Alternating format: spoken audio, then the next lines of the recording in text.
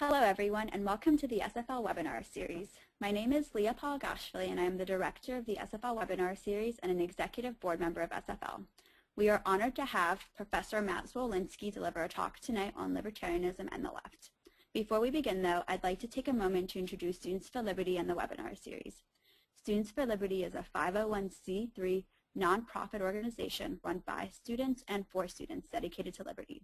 We were formed three years ago to serve a previously unfilled niche in our universities, connecting liberty-friendly students with other students, faculty, organizations, and resources that help them advance their ideas and applications of classical liberalism.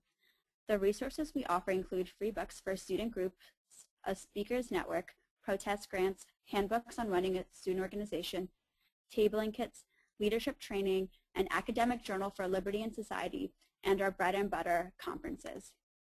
The SFL webinar series is a way of giving you access and ideas and mentorship in Liberty year-round from wherever you are. We hold webinars each week to put you in touch with the top mentors and scholars for Liberty in the country. For a full list, please visit our website, studentsforliberty.org. Tonight's webinar is with, was with Professor Zwolinski. Professor Zwolinski specializes in political philosophy and normative ethics. He is the co-director of, of USD's Institute for Law and Philosophy and serves on the editorial board of Business Ethics Quarterly. His areas of research expertise are political philosophy and normative ethics, with a special focus on the intersection of ethics, law, and economics. Professor Zwolinski received his PhD in philosophy from the University of Arizona and a BA in philosophy and a BS in political science from Santa Clara University. Just to note, there will be about 15 to 20 minutes of Q&A at the end of the webinar. Feel free to type in any questions into the question box. For those interested, this webinar will be recorded and archived on our website in the next few days. We'll be sending you a more uh, follow-up email with more detailed information about Students for Liberty and our upcoming webinar in, the, um, in a follow-up email. Without further ado, I present to you Professor Zwolinski. Hi. So uh, let me start off just by uh, thanking you for the opportunity to speak with you tonight. Um, Students for Liberty is, without a doubt, one of the most impressive and uh, amazing, I think, developments in the spread of libertarian ideas that I've witnessed over the course of my lifetime. The uh, level of organization, the depth of knowledge uh, among both the leaders and the, the general participants in this uh, group, and the incredible passion that you all evidently have for those ideas um, is really nothing short of, of mind-boggling. So it's really an honor for me to be able to speak with you tonight about uh, ideas that we all care about. Um, so I'm here tonight because I think that libertarians have a rare opportunity. It's an opportunity that's exemplified almost perfectly, I think, by the Occupy Wall Street movement, which is a movement united, it seems to me, by a vague sense that there is something wrong with the political and economic organization of the United States. A vague sense of injustice, but no clear idea of how to articulate that injustice, the specific nature of the injustice, or the specific steps that ought to be taken to remedy the injustice. And what I want to suggest to you is that this discontent, this vaguely articulated sense that something is wrong, provides libertarians with an opportunity to engage in an act of positive self-transformation. That self-transformation is in part a rebranding. That is to say, it is a change in the way that libertarianism is perceived by the outside but it's more than merely a rebranding. It's also a way, I think, an opportunity for libertarians to change the way in which they see themselves. A transformation, I think, that goes deep to the moral and political beliefs that form the very foundation of libertarian doctrine.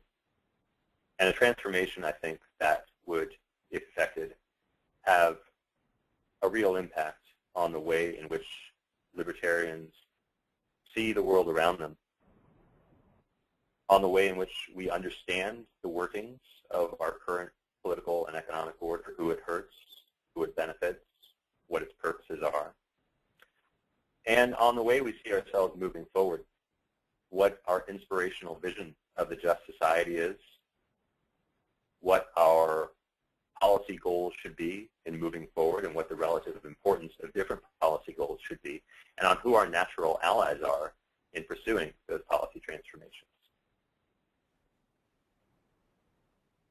The essence of this self-transformation that I want to encourage you to undertake tonight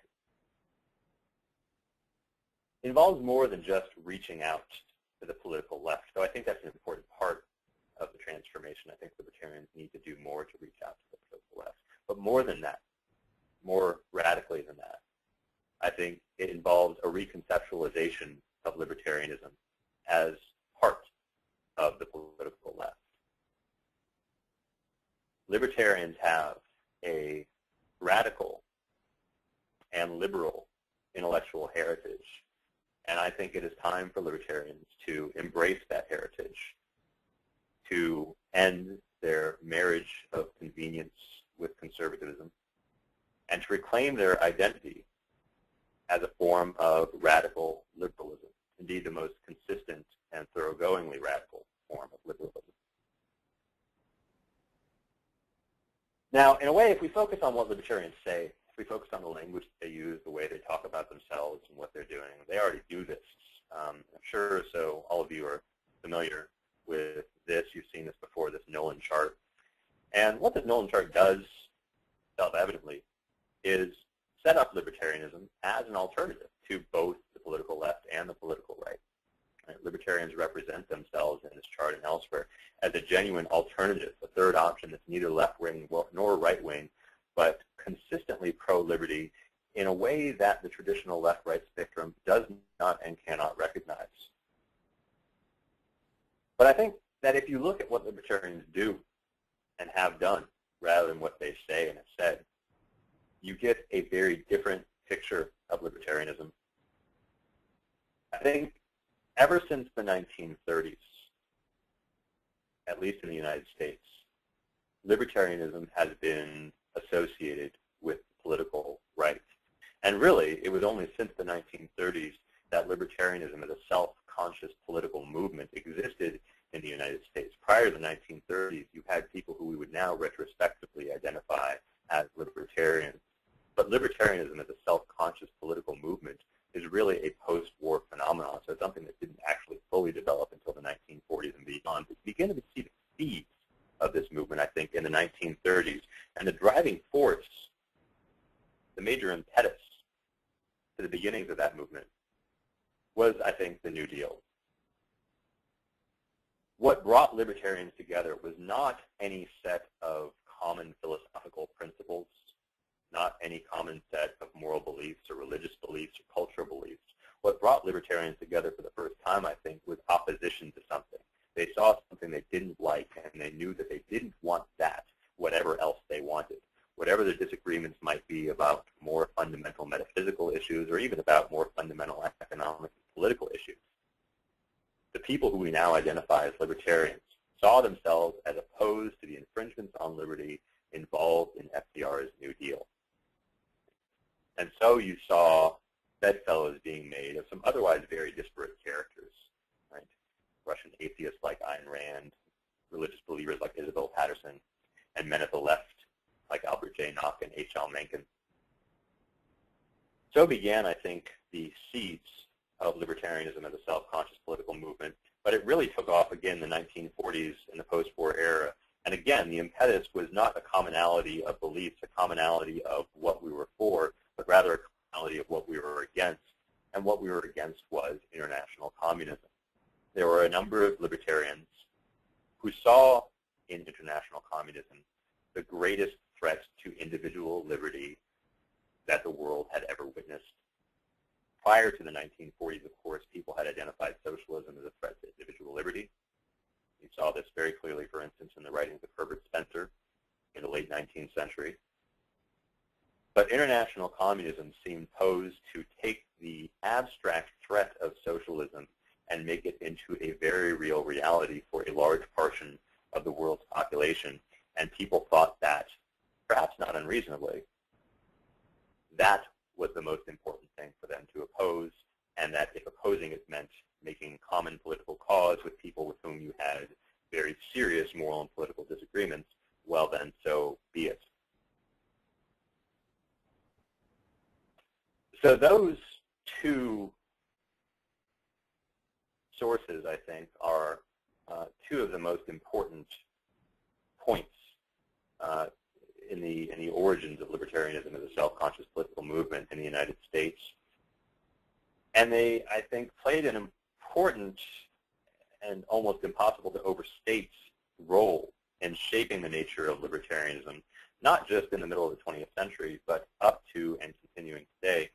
Uh, so for a bit of evidence, um, let me direct you to uh, a poll that was conducted by Liberty Magazine, uh, which is a magazine that some of you might not be familiar with uh, anymore. It used to be the journal of uh, libertarian thought um, for libertarians, whereas Reason Magazine was sort of the outreach magazine, sort of selling libertarianism to the world. Liberty Magazine was the way in which libertarians communicated to each other during the 1980s, during the 1990s, before we had the blogosphere and uh, lots of other ways of libertarians sharing ideas amongst each other. Liberty Magazine was it. And, uh, and Liberty Magazine did, did uh, an interesting thing. They conducted a poll of their readers uh, three times, once in 1988, once in 1998, and then again in 2008. Uh, and in that poll, they asked their readers a number of questions uh, about their moral, economic, political, cultural beliefs, um, demographic information. And uh, these polls are just fascinating, really. They provide a really interesting glimpse into the makeup of the libertarian movement and into the ways in which that movement has changed uh, over the last three decades. But uh, the question that's particularly telling for our purposes has to do with uh, political self-identification. In particular, Liberty Magazine asked its readers how they self-identified politically prior to coming to libertarianism. Uh, and the answer is pretty striking. So in 1988, when they asked this question, a full 65% of respondents identified as coming from the political right, whereas only 20% identified as coming from the political left. So it's quite a shocking disparity. Now that's um, softened a bit over time. So if you look at the 2008 poll, you see that the uh, number uh, coming from the identifying as coming from the political right is down to 52%. Um, but the number identified as coming from the political left is, is only up very slightly uh, to 22%. Um, so what we see here, the image this paints is still uh, a libertarianism as a um, as a right-wing movement or a movement that at least has its origins or appeal in the right wing of the political spectrum. Um, now that's that's a, a data source that one might quibble with, I suppose. Um, as I said, Liberty Magazine was the journal of the, the sort of inside journal of libertarianism, um, and so it appealed to people who you would probably identify hardcore libertarians. Um, perhaps if you looked at the broader libertarian movement, you would get different information. And uh, to some extent you do. So uh, Nick Gillespie and uh, Matt Welch in their new book, The Declaration of Independents, look at some data about um, libertarians who self-identify libertarians more broadly, and I think they find less of an affiliation with political right there, but there's still a significantly more affiliation with political right than with the uh, political left. So you find some evidence there in the way that libertarians identify themselves. Uh, I think you also, of course, find some evidence in the way that people outside the libertarian movement identify libertarians. So uh, I'm sure we've all seen this phenomenon where um, libertarian individuals or libertarian think tanks, especially like the Cato Institute, are identified by uh, the news media as a as conservative think tanks or as right-wing think tanks. Uh, pet peeve of, mine, and I'm sure pet many of yours. Um, but while it's annoying, it's, I think, not entirely ununderstandable, uh, to use the awkward uh, phrase. Um, it's a mistake, of course, I think, to identify Cato as a, as a right-wing doctrine. But again, I think if you look at the kinds of things that libertarians say, if you look at the rhetoric they use, and if you look at what they emphasize, I think there's a certain picture of libertarianism that emerges. That's different from the picture that you get if you engage in sort of a serious study of all the things that libertarians have written or said. Uh, if you look at just the sort of highlight reel of libertarians, it is not entirely unreasonable, I think, to come away with the impression that libertarianism is more of a right-wing doctrine than a left-wing doctrine. So for instance, I think if you look at the kinds of things that libertarians in America have said over the last 80 years, libertarians have spent far too much time talking about the way in which government hurts business and the way in which government attempts to help the poor are misguided or immoral. Far too much time talking about those things, and not nearly enough time talking about the way in which government tries to help business or the way in which government hurts the poor through a variety of programs. I think libertarians spend far too much time talking about the idea that an increase in the marginal tax rate is a kind of slavery of the wealthy, and not nearly enough time talking about the way in which the draft or the war on drugs, restrictions on workers' rights of association, are a real infringement of the liberty of the poor. I think libertarians have been far too willing to lionize politicians on the right who have mastered the rhetoric of liberty. Mind here people like Ronald Reagan, but I think the same thing is true of most of the Republican candidates for president today. If you watch any of the presidential primaries and have the stomach to sit through this, you see people who talk the language of liberty, but at the same time, if you look at what their actions and sometimes and what they say, they're all too willing to vastly increase the size and power of the state, especially the most lethal and despotic elements of the state, the police and military. So I think libertarians have spent far too much time on these issues that appeal to the political right, not nearly enough time on issues that are consistent with libertarian principles, but that would appeal more to those on the political left. There are exceptions, of course, and I'll, I'll talk about some of those exceptions shortly. Uh, and I'm, I'm sure I'm exaggerating a little bit here to make a point. But the point is this. If libertarians are dissatisfied with the public perception and reputation of libertarianism, then I think they have at least partially their own selves to blame. It is, I think, difficult to complain about a reputation for loose virtue when you've spent the last 80 years promiscuously hopping into the sack with various figures on the political right. But, okay, so the main message I want to communicate here is, is not a critical one. It's a hopeful one. Um, the message is this. It's that uh, libertarians, although they might be identified today as mostly a fringe movement of the right wing, uh, things weren't always that way in the past, and they do not have to be that way in the future. I think if we look to the past, many key figures in the libertarian intellectual tradition uh, self-identified as left-wing liberals. And so let me name for you just a few. Um, Claude Frederick Bastiat, famous economist and propagandist for laissez-faire of early 19th century France, uh, was for a short while a member of the French Legislative Assembly. And he sat in the assembly, importantly, on the left side, um, which indicated his support for the radical left wing uh, political movements of the time. He sat alongside people like the socialist anarchist Pierre-Joseph Proudhon uh, and opposed to those conservatives on the right who supported the dethroned monarchy and the aristocracy. People like Thomas Hodgskin, who not enough libertarians know about, um, decried the exploitation of workers under capitalism, by which he meant not really laissez-faire capitalism, but the kind of corporatist, interventionist excuse for capitalism that existed in, in uh, England at the time. Uh, he was also a, a, a, strong and vocal and passionate opponent of despotic military power. Uh, his essay on naval discipline is, is well worth reading uh, as an introduction to his thought.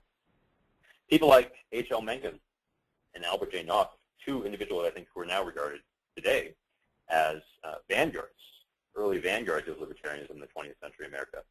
Uh, these two individuals were at least originally seen, and I think to some degree saw themselves as men of the left during the 1920s. Um, and then, of course, there's Benjamin Tucker, who was a self-identified socialist. Um, and this is true, I think, of, of many um, of his comrades in the American anarchist movement more generally. uh, many of the people with whom he collaborated with his Liberty magazine. Um, I think this is a really fascinating overview of Tucker and uh, the American anarchist movement uh, in a book by James Martin called Men Against the State. Great book, um, full of lots of interesting intellectual history and terrific anecdotes, and, and it's free. Uh, like so many other great things, you can get it for free from the uh, Ludwig von Mises Institute as a as a PDF. So Tucker is another example, uh, but of course the example with which you're probably all most familiar, and, and the example which probably played the most important role in the shaping of libertarianism in the 20th century, is uh, Rothbard. So Rothbard, um, especially during the 1960s, um, when you're talking about Rothbard, you sort of have to specify Rothbard circa 1960 or 1980 or 1990 because you get very different views uh, depending on which time slice of Rothbard you're talking about. But Rothbard, at least circa 1965 or so, um, edited a journal called Left and Right, a journal of libertarian thought. And the inaugural issue of that journal contains an essay by Rothbard, which is still very, very much worth reading, and uh, which, again, is easily accessible for free online through the Ludwig von Mises Institute. The title of that essay is Left and Right, the Prospects for Liberty.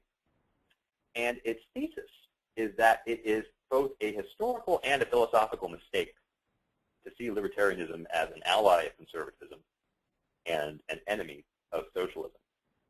So historically, Rothbard argued, libertarianism has its origins in Western Europe as a form of liberalism.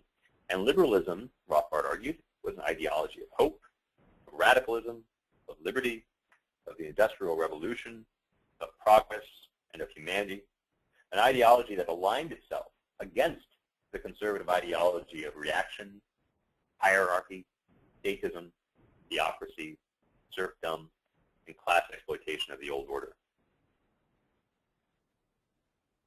The main enemy of liberalism, was not socialism. The main enemy of liberalism was conservatism.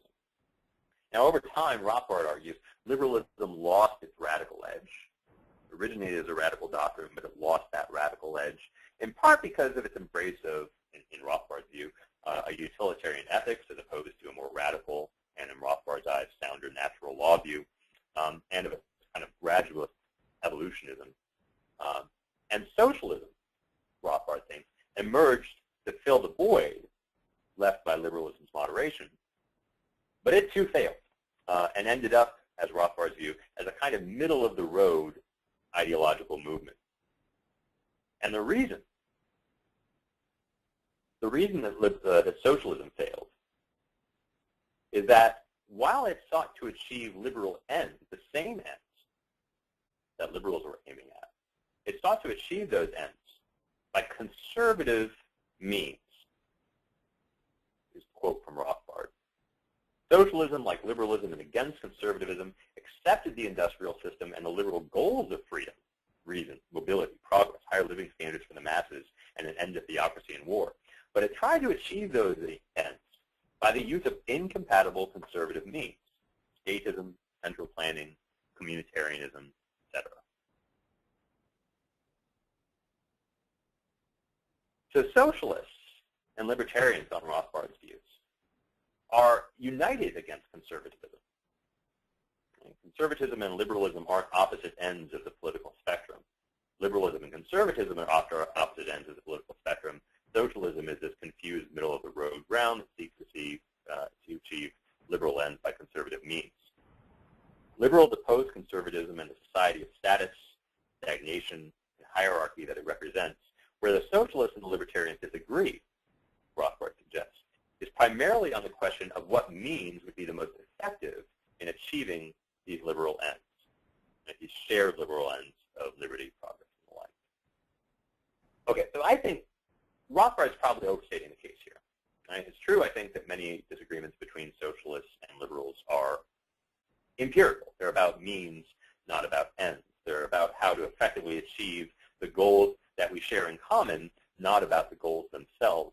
Um, this, for instance, is a bit of a theme that we've taken up on the Bleeding Heart Libertarians blog, right? I mean, the idea is that it's not um, as though libertarians oppose helping the poor.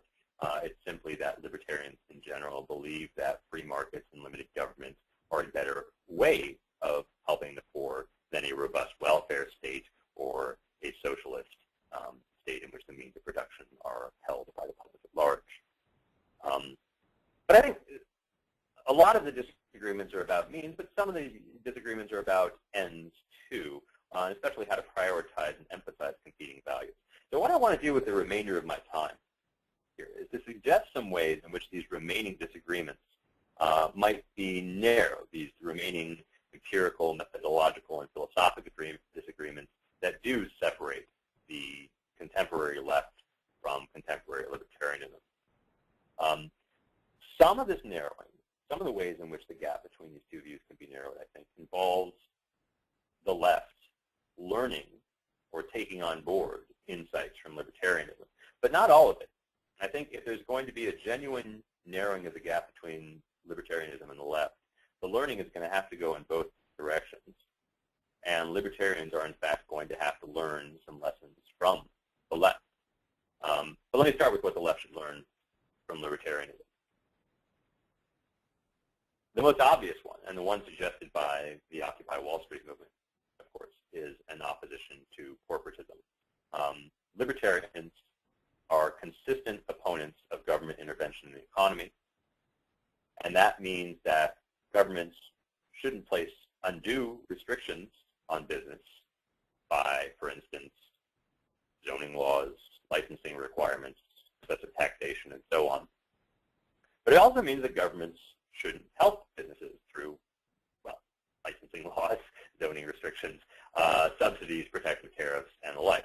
Uh, and we libertarians, I think, so that's a, that's a shared view, I think, between libertarians and elements on the left, but we libertarians are in an especially good position to articulate the case against corporatism, to explain why it is that corporatism arises, right, um, by drawing on the insights of, for instance, the Public Choice School of Economics, right, to explain the phenomenon of rent-seeking, and to explain why certain fixes that might be a, suggested to the corporatist problem aren't going to be sufficient, right? We can't solve the collusion that exists between government and business simply by passing a better campaign finance law or simply by getting people with better moral character in office, right? The problems are structural and the problems require a structural solution that goes beyond anything that those on the left have suggested. So that's something, that's one thing I think that the left could stand to learn from the right. Another thing I think that the left could take stand to learn from the right is to take coercion seriously. Uh, I mean, it's not as though people on the left like coercion. Uh, they dislike it. Uh, they dislike it when it occurs um, in the military draft. Uh, they dislike coercion when it's used, for instance, to impose uh, censorship. Uh, they dislike the coercive imposition of religious views on on non-believers. Um, it's just that they don't see coercion as a factor in economic regulation. They don't see it as a factor in restrictions on property rights. So I think the role that libertarians can play here, what libertarians can teach those on the left, is that, in a sense, coercion is coercion. And the reasons that we have to oppose coercion in the civil sphere are equally valid in the economic sphere. those on the left already don't like coercion. The challenge that libertarians face, I think, is convincing them to take that commitment and apply it more consistently across the political sphere, not just in the area of so-called civil rights, but also in the area of economic rights. Uh, and I think you know, people like the Institute for Justice who show the real effects that economic coercion has on the poor and vulnerable are doing a wonderful and important job in making that case. Um, let me move a little quickly here because I don't want to run out of time. But um, I think, you know, those on the left, there's a long tradition on the left of a preference for small, voluntary, autonomous organization and a, and a tradition of opposition to centralized hierarchical authority. That, that tradition has been buried somewhat in the 20th century, I think, by the rise of state socialism. Um, but it's there, uh, and I think you know, those on the left are in a position to appreciate insights about spontaneous order, and libertarians have a rare opportunity, I think, to teach uh, those on the left about how spontaneous order works, how to foster it, how it manifests itself in the economic realm. Uh, again, to show that this is not something that is um, important merely in civil affairs, but also important in larger, more difficult to perceive economic affairs. And of course, I think there's a lot of policy issues, a lot of particular policy issues on which there's a kind of natural connection between the left and libertarianism, uh, things like drug policy, things like immigration restrictions. And, and, and I think not just they're an important um, point of connection between liberals and libertarians on these issues, um, but I think if you, if you look at the issues where there is this overlap, if you look at things like drug policy or immigration restrictions, those policies make a much bigger difference in the quantity and quality of freedom in America than a lot of the issues about which those on the left and libertarians disagree. Right? So those on the left and libertarians might disagree about you know, where the tax rate should be or whether we should abolish the uh, Department of uh, Education, of Commerce, of um, sorry, that was a cheap joke. Um, but I think, right, and those things make a difference to liberty. But I think, gosh, if you look at the way in which ordinary people's lives, especially the lives of the vulnerable and the poor, are affected by the state, immigration law would make a much, much bigger positive difference in those people's federal regulation. Um, and so, for cooperation. Okay. So on all these issues, I think there's an underlying commonality between liberals and libertarians, and uh, and we can exploit this. I think, to our advantage. Um, but like I said, I think the learning is not going to go in all in one direction. Uh, I think there are some important philosophical and methodological points that libertarians can and should take from those on the left. So let me conclude my talk by um, discussing some of those. And let me start with the issue of non-governmental power and oppression. The libertarians think and write passionately about the oppression that occurs when governments overreach their proper bounds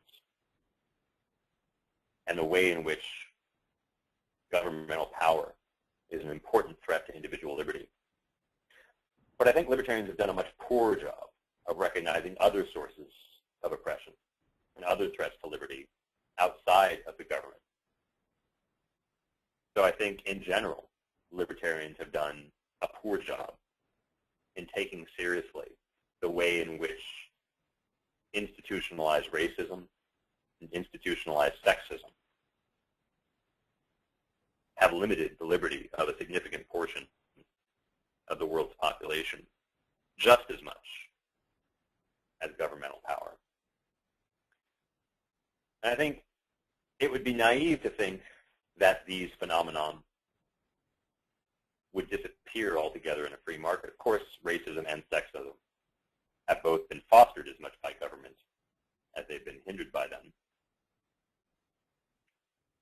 But even in the absence of government force, I think, these phenomena would be a problem.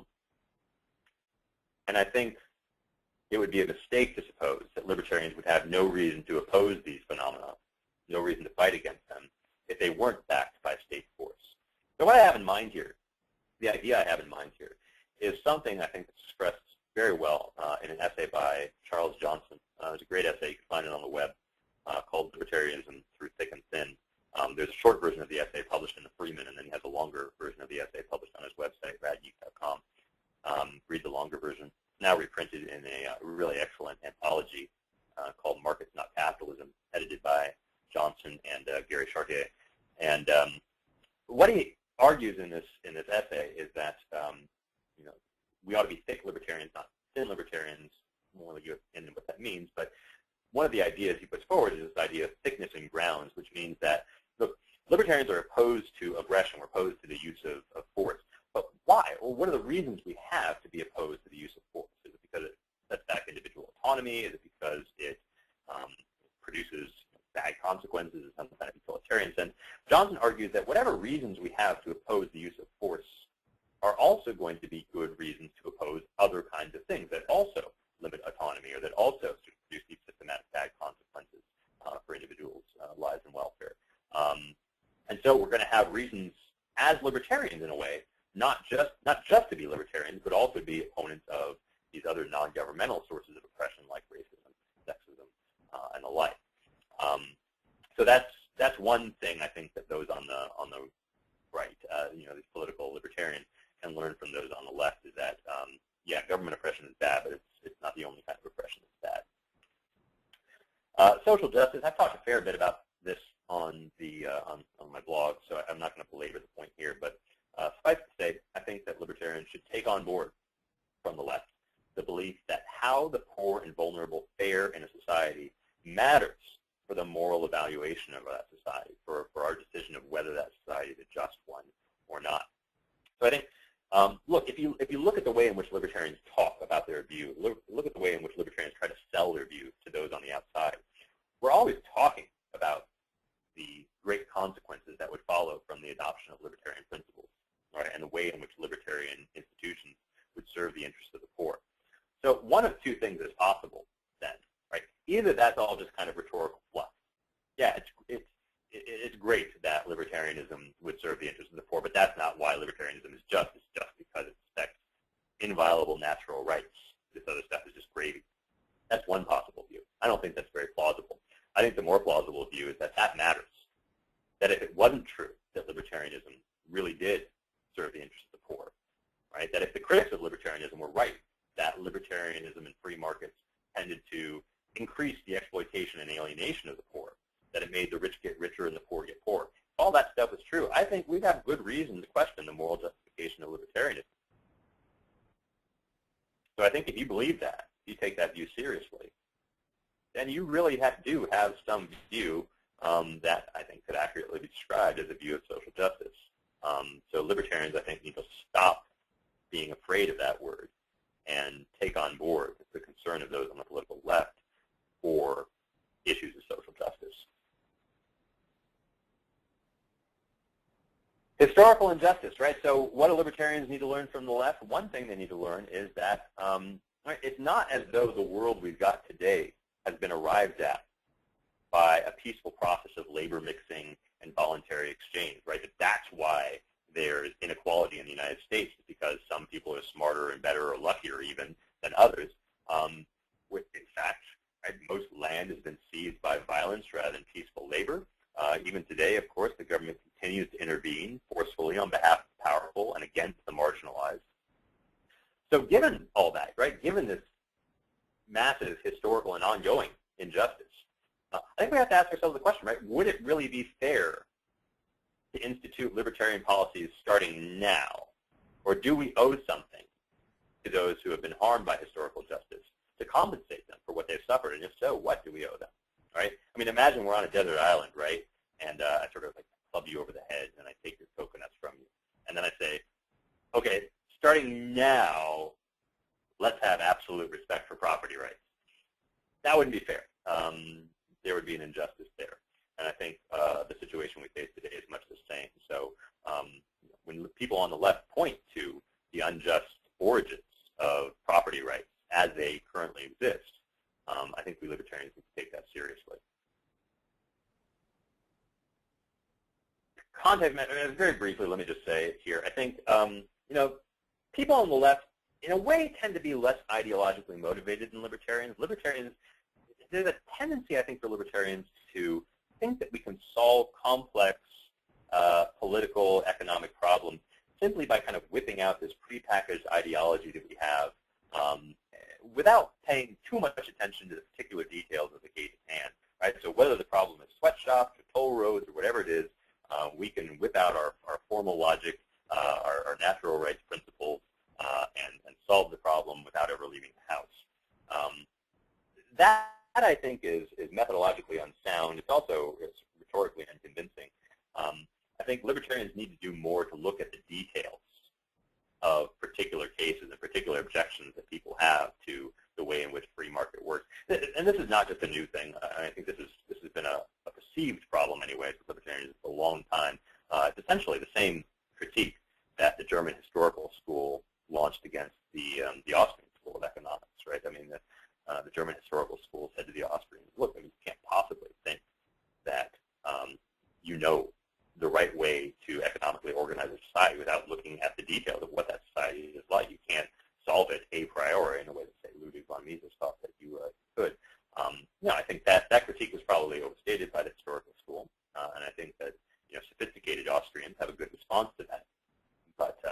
general point is well taken. I think context matters. Okay, um, let me wrap up. I'm a political philosopher.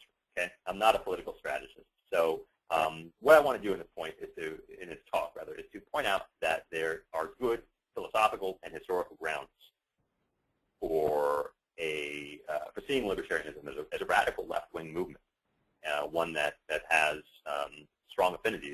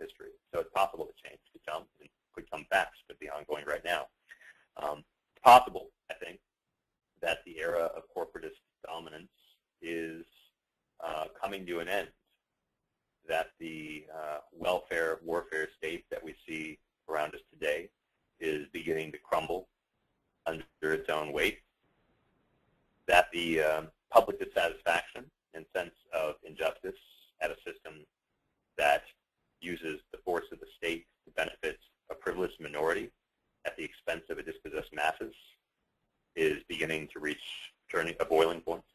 Uh, it's possible that uh, the libertarian movement, in both its numbers and its understanding of philosophical, economic, and moral ideas, is reaching a period of ascendancy such that it's going to make a real difference in our political world. But I think that if libertarians are going to make any progress in this movement, if they're going to take advantage of the opportunity that history may be handing them, they need to stop clinging to the legs of their big brothers on the political right and stand up on their own and to embrace their radical liberal heritage and to proclaim themselves as brothers and sisters of those on the left who condemn the artificially imposed hierarchy, privilege, and injustice of the contemporary corporatist and illiberal states. Thank you very much.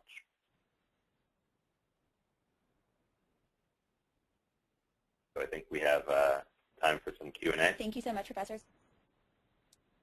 Yep, thank you so much. Um, to all our participants, please feel free to type in the questions in the question box that should be to your right. Um, our first question asks, why align ourselves with the left when we already have, as you pointed out, an alignment problem? Why not focus our efforts on distinguishing ourselves from both wings? Yeah, I think that's right. Um, I think we should not shy away from pointing out where we differ from those on the political left, um, and that we should not shy away from criticizing the left when they get it wrong. Um, so I don't disagree with that, uh, but I also think that we shouldn't shy away from embracing commonalities when and where they exist. And I think um, I think that the problem with our alliance to the right is that it's been a kind of exclusive alliance. right? Um, and that uh, that we that our commitment to the right has blinded us in a way um, to the failures of the political right and to uh, the strengths and commonalities that we have with the political left. So uh, uh, perhaps I'm I'm advocating not so much for a uh, monogamous relationship with the political left, but a kind of uh, libertarian polyamory, uh, as it were, where we should uh, sort of not just hop into bed with the political right, but hop into the bed with the uh, political left too when it suits us. Um, I think uh, there's, there's some important there's some important issues on which libertarians have common cause with the political left. There's some important ways in which libertarianism is itself a left-wing doctrine, and I think um, we should emphasize that moving forward.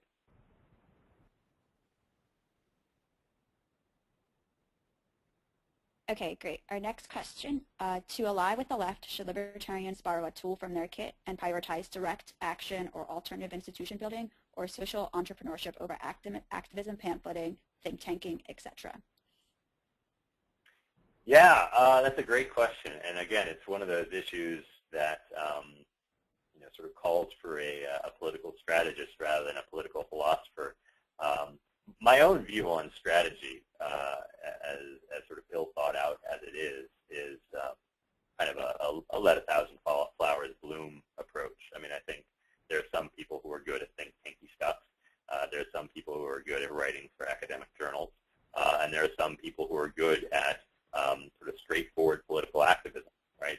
Um, and I think uh, you know, do what you're good at. Uh, I think there's room and there's a, there's a need for people who are really skilled at political advocacy, advocacy uh, and activism in the libertarian movement. I think libertarianism has been historically, at least again in the United States, a kind of intellectual heavy movement, right? I mean, so there's been there's been a lot of people who are good at the intellectual stuff and not so many people who are good at or have a passion for uh, the more direct activism stuff. And I think that's a shame. I think that's weakened the libertarian movement.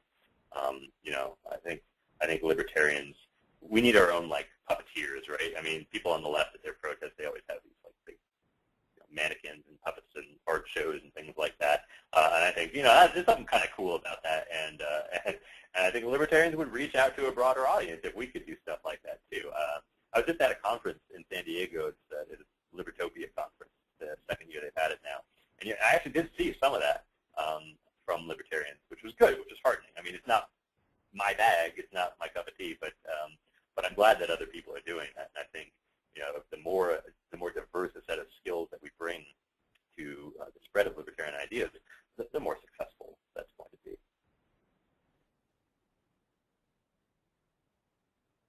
Okay, our next question asks if you have any advice on the marketing. Um, should we call ourselves libertarian? Should we say classical liberal, voluntarist, etc.? Right. Um, you know, as far as as far as marketing goes, I'm not sure I do have much advice. Um, you know, I I tend to agree. I think with with Friedrich Hayek in his essay on why I'm not a conservative that uh, essentially uh, all the labels that people who we might call libertarians have suggested um, bad. it's just not, they're not very compelling names. Um, uh, of course, you know, Hayek makes this point. He says, ah, I don't like the term libertarian. And then, you know, what does he suggest? And instead, uh, old Whig, right? Um, that uh, I'm not sure is much of an improvement. Uh, in fact, I, I, certainly recommend against calling yourself a Whig uh, if you're trying to win uh, political converts. Um, but you know, I, I think at the philosophical matter, there's some there are some substantive differences that are reflected in these terms, right? So, I mean, I think there's a difference between uh, a classical liberal and a libertarian um, in terms of the kinds of policies that they advocate, in terms of the kind of moral principles that they characteristically employ. Um, you know, so when I when I use the term classical liberal, uh, I have in mind people like Friedrich Hayek, people like Richard Epstein, people like you know Adam Smith, um, or uh, or Milton Friedman even, uh, people who don't sort of draw a bright line at the minimal state, right, and say, you know, police, courts, and military, that's it. That's all that a, a state can legitimately do. All those people I mentioned um, were, at least in some moments, supportive of a somewhat broader role for the state in providing public goods um, or engaging in certain forms of redistribution, providing a kind of social safety net. Um, you know, when I think libertarian, sometimes I use the term libertarian in a kind of broad sense to include everybody, like classical liberals, minimal state libertarians like Robert Nozick and Ayn Rand, uh, and anarcho-capitalists like uh, Murray Rothbard or uh, Gustavo de Molinari. Um, but I think there are some important substantive differences there that, at least when we're talking amongst each other, each other, or when we're talking, you know, in a, in a kind of sophisticated format, uh, where we, we really want to get clear on the distinction between different sorts of ideas, important to keep in mind that those words mean different things. But as far as you know, which word is gonna is gonna win us converts and uh, you know finally push us over the edge, uh, I'm afraid I uh, I don't know. You Students for Liberty folks seem to be uh, much more savvy about the the marketing type issues than uh, than certainly I am.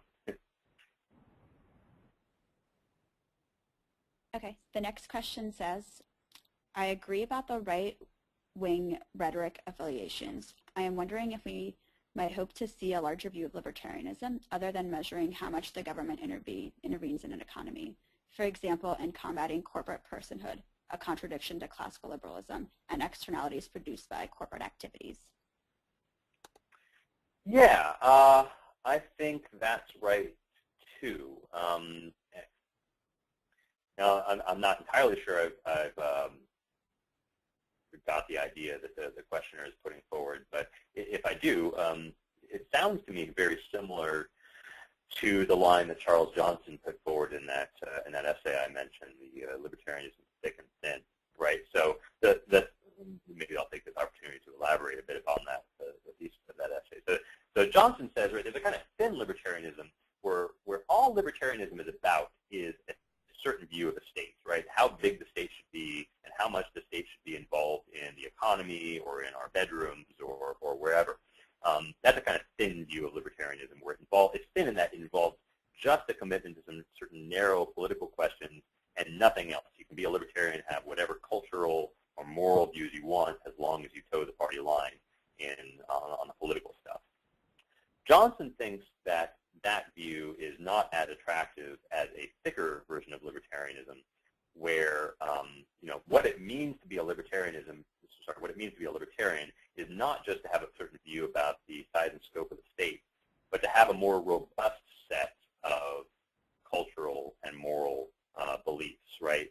So, um, you know, for instance, somebody who's a, a libertarian in a thick sense is going to despise censorship not merely when it is practiced by the, uh, the government through coercion, uh, but also when it's practiced by um, sort of purely, certain, at least certain kinds of purely voluntary organizations, right? So, um, you know, for instance, I think, you know, when I, when I see universities engaging in censorship, when I see them sort of set, setting up free speech zones uh, as, as, you know, tiny little areas on the campus where people are allowed to actually, you know, express ideas.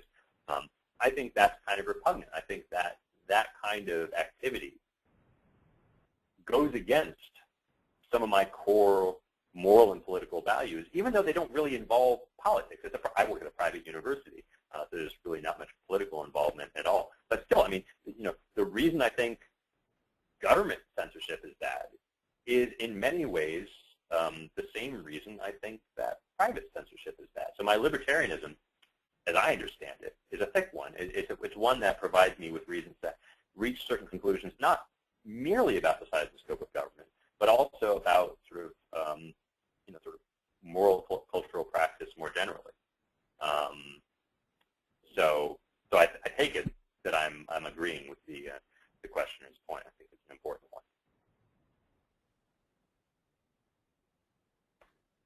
Okay. Uh, our next question, what are your thoughts on Nozick's entitlement theory of justice, which has the tagline, from each as they choose to each as they are chosen? Uh, as, as far as mottos go, that's a pretty good motto. Um, you know, what, what do I think of Nozick's entitlement theory? It's uh, that's a big question. Uh, I think Nozick's a great political philosopher. He's a, and, a, just a brilliant philosopher in general, uh, political or otherwise. Uh, and Anarchy, State, and Utopia is a, a, monumental work in political philosophy and in libertarian thought. Um, it's not the alpha and omega of libertarian thought, and I think there's an unfortunate tendency, at least within academic philosophy, to treat Nozick's theory as though it were sort of the beginning and the end of libertarianism, right? The last and the first word. Um, right? If you look at political philosophy anthologies, for instance, or if you look at the way political philosophy courses are taught, um, you know, there's a section on libertarianism, and what you find there every single time is Nozick and nothing else, right? And so academic philosophers, there's a, there's a tendency among academic philosophers, and I think this is changing somewhat, to think that if you can show that, liber- that Nozick's arguments about libertarianism are flawed, then you could show that libertarianism is flawed because, after all, Nozick is the kind of epitome of libertarianism. Um, like I said, that's changing. I think Hayek's views are getting a little bit more attention now, and um, you get a bit more attention paid to sort of consequentialist approaches to libertarianism like you find in, say, Richard Epstein. Um, but uh, so there's, there's, a sense in which I think Nozick's view is overrated. Um, there's a sense in which uh, it's it's not as systematic as it as it could be. Of course, I mean it's, it's uh, the entitlement theory itself, right? Um, the idea that you know distributive justice is largely a historical matter, right? It's, it's, a matter of whether you got the holdings that you have in the right way, not do your holdings sort of uh, combined with the holdings of other people fall into a certain kind of pattern. Um, that, there's something right about that view, I think, but it's, it's very sketchily fleshed out by Nozick, right? I mean, he says, um, you know, to, to articulate a theory of justice holdings, we need a theory of just acquisition, a theory of justice and transfer, and a theory of justice and rectification, you know, what to do when unjust things happen. You know, it doesn't say anything about that last issue, right? Like what to do about the fact that most property rights as they exist today are the product in some sense of historical injustice. Blank stare. Um, and he says very little about the principle of justice and transfer either. Um, says a fair bit about justice acquisitions, uh, but even there, there's a lot of questions left unanswered. Right? Uh, he sort of gives these parenthetical remarks like, why is it that mixing our labor um, with an object gives us a property right in that object, right? Well, why don't I just lose my labor when I mix it into the object? Doesn't answer that question. Um, so it's, it's a great theory. It's a good start, um, but it's, it's certainly not the last word in libertarianism. There's a lot more work to be done by libertarian political philosophers, which is good job security for me, I guess.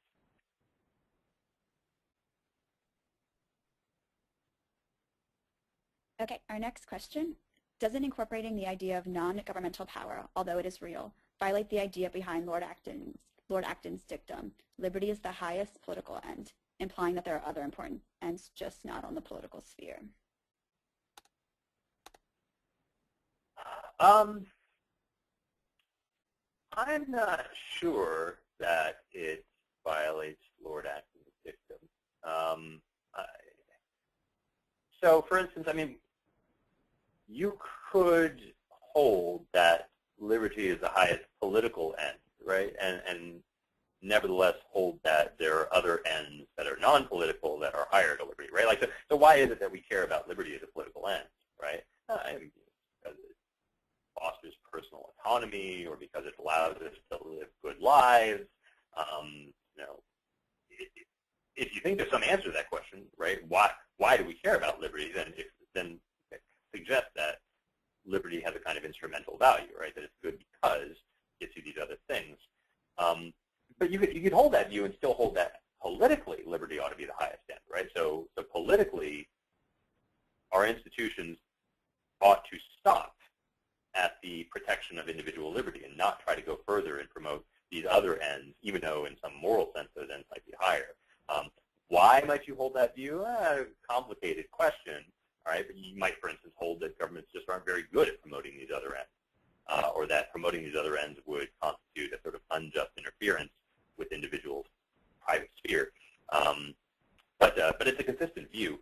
Uh, I, think you know holding that um, opposition to non-governmental power is an important part of libertarianism doesn't necessarily commit you to violating Lord Acton's view, right? I mean, you could you could hold that institutionalized racism and sexism, for instance, are a bad thing and that they ought to be combated, but that they ought not be combated by political means for one reason or another, right?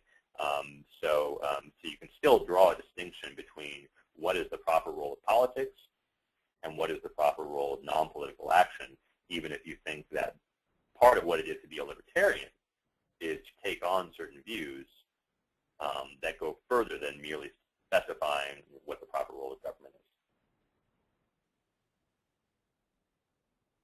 Okay, looks like we'll have time for just one more question.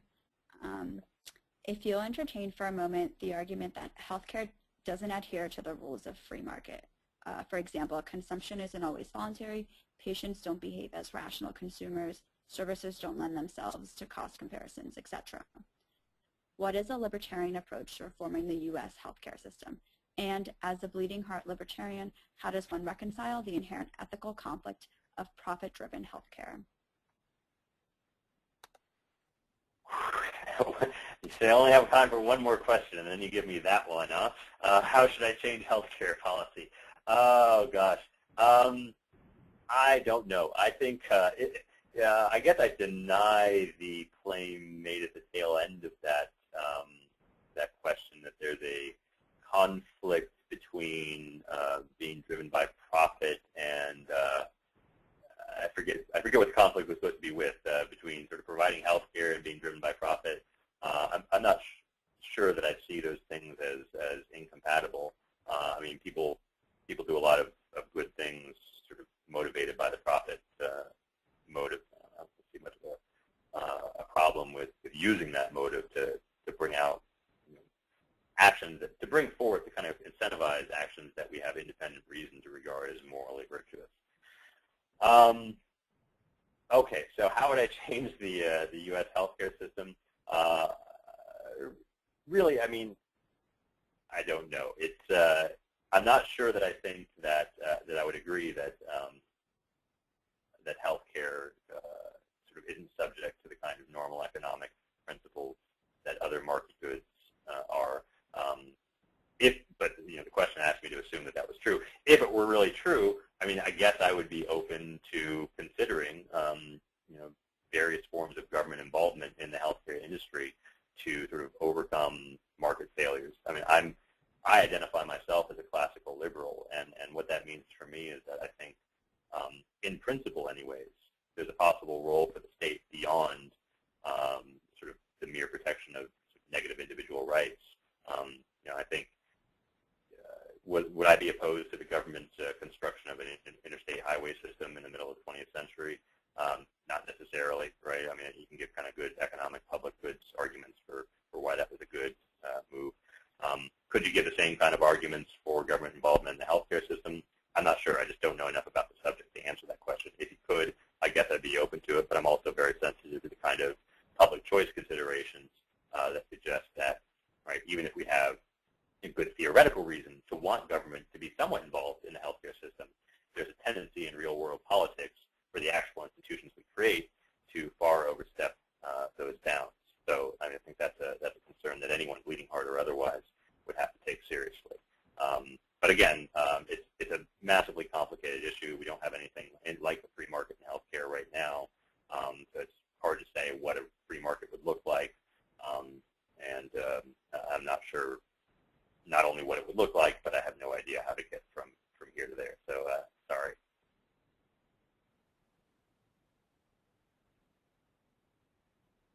Okay, well, thank you so much, Professor Zwolinski, and to all of our participants this evening. We had a ton of questions.